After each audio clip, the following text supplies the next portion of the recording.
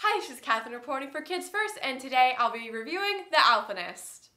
The Alpinist is a fascinating documentary. It shows rare footage of beautiful landscapes and will either inspire you to chase your dreams or make you afraid of heights. Whichever way you take it, the movie is well worth the watch. The Alpinist follows the 23-year-old mountain climber Marc-Andre Leclerc. He is a pioneer of solo climbing and has made countless records.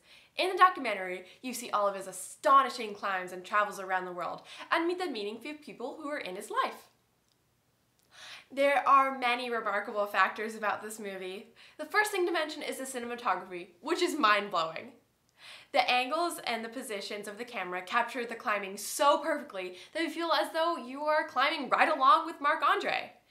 You get to feel so connected with Marc-Andre that you feel like you've known him forever. Kudos to the directors Peter Mortimer and Nick Rosen and their crew.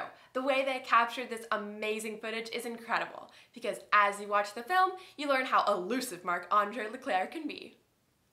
The messages of this film are to follow your passions and to have courage while also understanding the risks of what you're doing.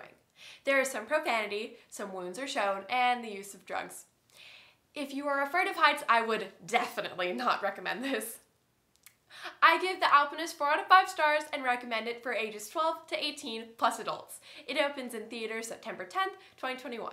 This is Katherine reporting for Kids First. Please don't forget to subscribe to Kids First and check out all of my reviews and interviews. See you later. Bye! And not now. How was it?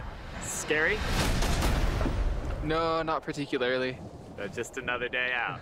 A really good day out.